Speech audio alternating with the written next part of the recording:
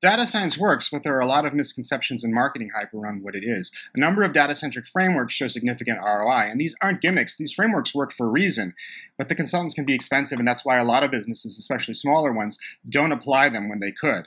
Hi, I'm Dr. Werner Krebs, CEO of Acculation. What we've done is create this self-serve tool that can help reduce costs and help businesses apply these frameworks earlier in their life cycles and with much less risk. We have an expert system that can ask hundreds of questions to help put your business on the right path. We've made the most promising of these questions available at no cost through this free tool. What we found is that our free tool often quickly helps you identify the low-hanging opportunities to use data more effectively in your business. Some of our first questions ask about your software systems. There's not necessarily a right or wrong answer. We found that these are good first questions to get business executives thinking about using their business data more effectively. Many executives come in with preconceived notions about what data science and analytics are. They think Google Analytics are that scary software product, or perhaps they have preconceived notions about monetizing some custom data that they have. Don't play data scientist at home. Acculation is a really strong data science team, you can learn more about that by clicking at the consult link at the top of the site.